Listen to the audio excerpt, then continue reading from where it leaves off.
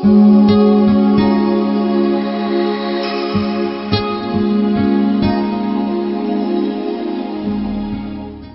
graça de nosso Senhor Jesus Cristo, o amor do Pai e a comunhão do Espírito Santo esteja com você, meu irmão, minha irmã. Aniversariantes. Parabéns para você que aniversaria nesta terça-feira, dia 21 de janeiro. Parabéns à minha sobrinha, Mariana Moda, está morando lá em Manaus.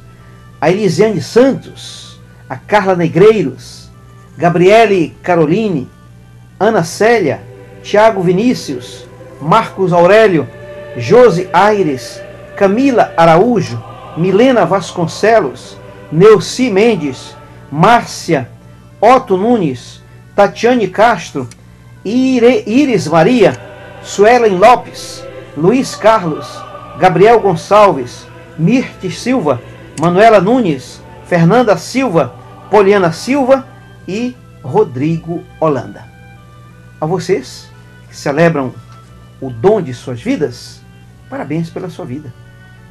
Parabéns pela sua existência. Como é bom celebrar o aniversário e como é bom receber os parabéns, sobretudo quando essa vida ela é dignificada, sobretudo quando essa vida ela é orientada não para esses princípios do mundo, mas para os princípios de Deus, princípios que não são temporários, mas princípios que são permanentes em qualquer cultura, em qualquer momento histórico de nossa vida. Então, parabéns pela sua vida, parabéns pela sua existência. Que Deus lhe abençoe e que cumule com as suas bênçãos.